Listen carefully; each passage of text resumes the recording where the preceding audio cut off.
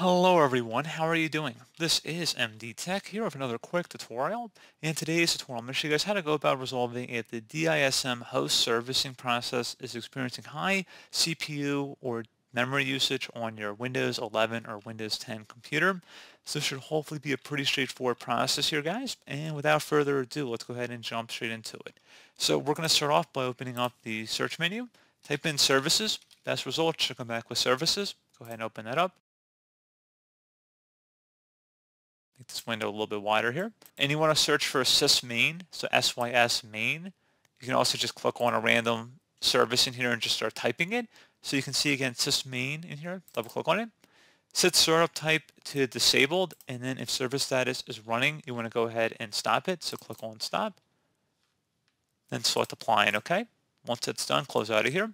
Open up the search menu, type in CMD, Best result should come back with command prompt. Go ahead and right click on that and select run as administrator.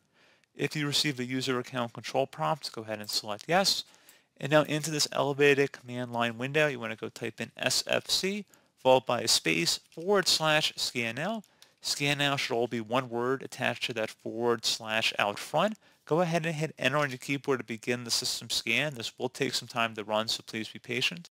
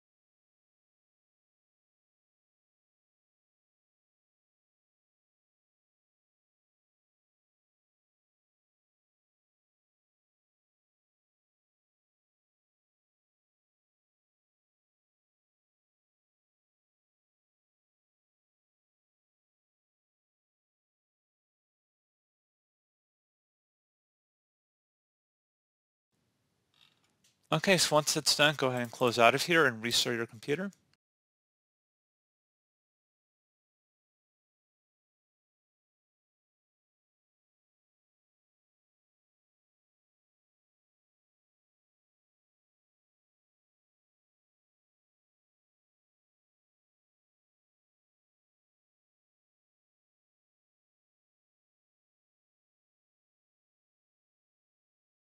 So there you go guys, hopefully I was able to resolve your issue.